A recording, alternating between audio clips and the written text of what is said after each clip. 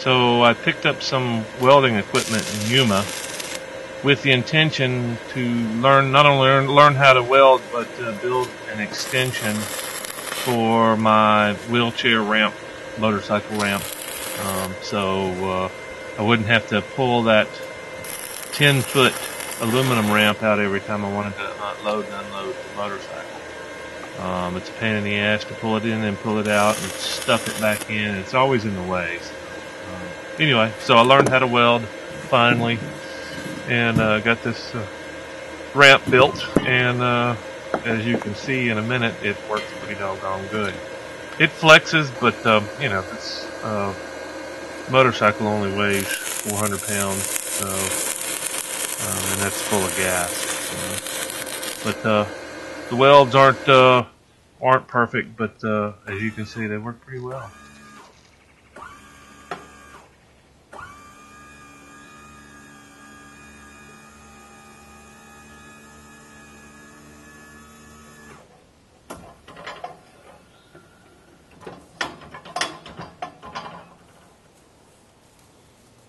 So my ramp appears to work. Um, it's a whole lot lighter and a whole lot shorter than the other one. And it took me surprisingly little time to uh, finish it. And uh, for what I would have paid somebody to build me one, uh, actually the guy was almost done with it. He just didn't finish while I was in town. So what I would have paid him to finish this thing, I, I bought the welder, all the equipment and everything for what he would have uh, what he would have charged me to, to build it. So I'm really excited to have my new ramp. I've also done just enough paddling um, to know that there is more water, or as much water as I've seen in Alabama. Um, seems like there's a river or a creek or a lake pretty much everywhere um, in uh, the Panhandle. So I'm going to do a bit more exploring. This is the East River, which is less than a mile from the compound. Uh, it's really easy to get to. It's got a nice little camping spot, boat landing, and uh, there's lots of little, um, lots of little uh, holes to paddle in along the river. And I didn't even get to the main river. This is just a small tributary to uh, one of the larger rivers, and of course there's a lake nearby too, probably even closer. Um, think it's a fee-based lake. I think you got to pay five dollars to get in there. And of course, I fixed the fuel leak on the bus, and I'm trying to find the source of an oil leak, pretty bad oil leak that's coming on the left, in between the uh, air compressor on the left and the block. And uh, here I'm actually cutting a a port, a hole for the uh, for the water fill port, um, so I can fill my water tank, my fresh water tank, without having to crawl up under the bus and uh, connect it. And there's the port right there.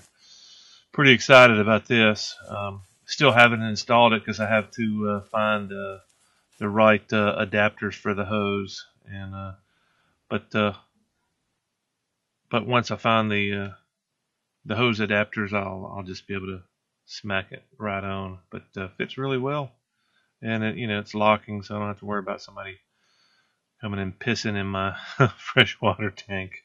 I can do that all on my own.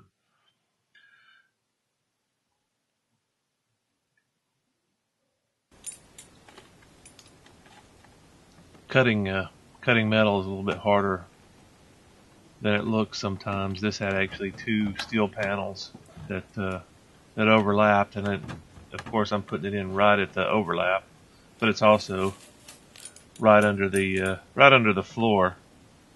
So there's lots of uh, joist, steel joists that go just just above this. I didn't really have a lot of choices where I put it.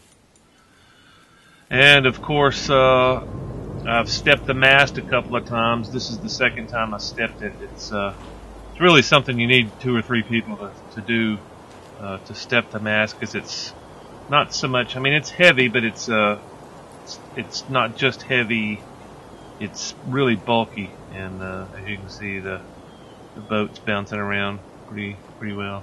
And I still haven't run the sail up, but I'm I'm missing some pieces, and I just wanted to see what what kind of pieces I was missing and how short I'm going to be. Um, I, I have no idea how to do this. I've tried to find some resources online, but nobody really gives you detailed information, so it's all kind of guesswork about how to assemble it. And you know, I'm just looking at diagrams which aren't very good. Um, you know, I don't know how how tight these uh, the stays are supposed to be. You've got some some uh, side stays and a forestay, basically three cables that hold the mast in place.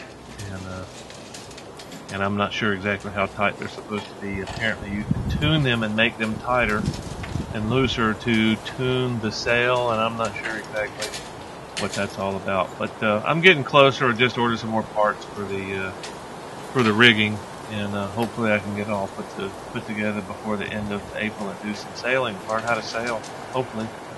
I'm sure it's going to be a disaster up here. Probably have to swim back to shore after I sink the boat. But it's been fun so far, and uh, can't wait to actually move under wind power eventually. Looking forward to it. Hopefully, uh, you'll see some videos here soon.